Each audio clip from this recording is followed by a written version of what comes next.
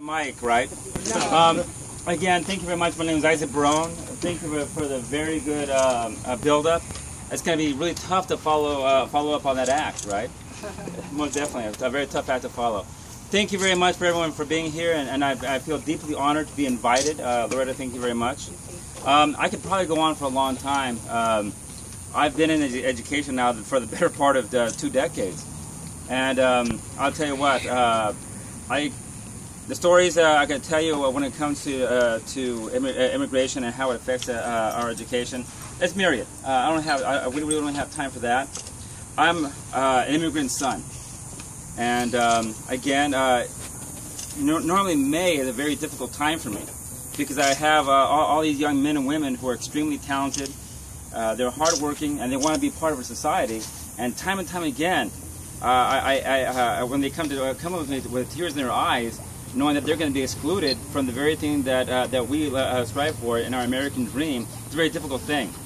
I'm extremely happy that the president, of course, you know, uh, he had the courage to give us deferred action a little bit over a year ago, right? And I thank him here, and I, and last time I saw him last year, I thanked him profusely for that. But it was only a stopgap measure, obviously, okay?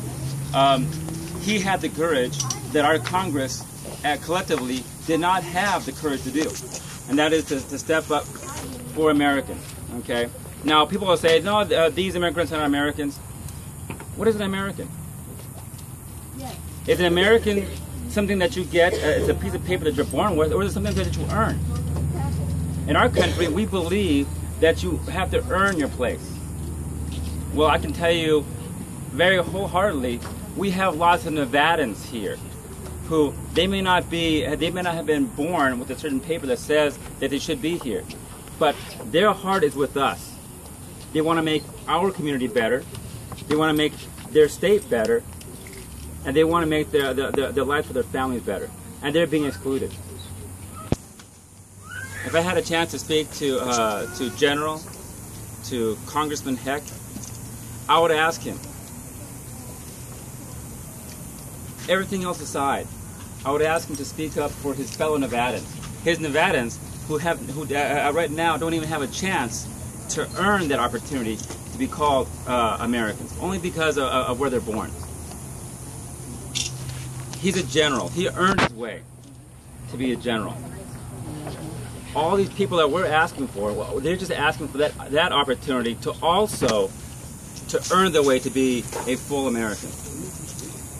All I would ask him to do is to stand up for his fellow Nevadans and to uh, and to also show the same courage that he that he's shown in the military to stand up to people in his own party in, uh, in Congress there and to advocate for uh, uh, for our Nevadans. I thank you very much, and you'll always know that my heart will be with Nevadans. Thank you very much, and have a beautiful day. Thank you.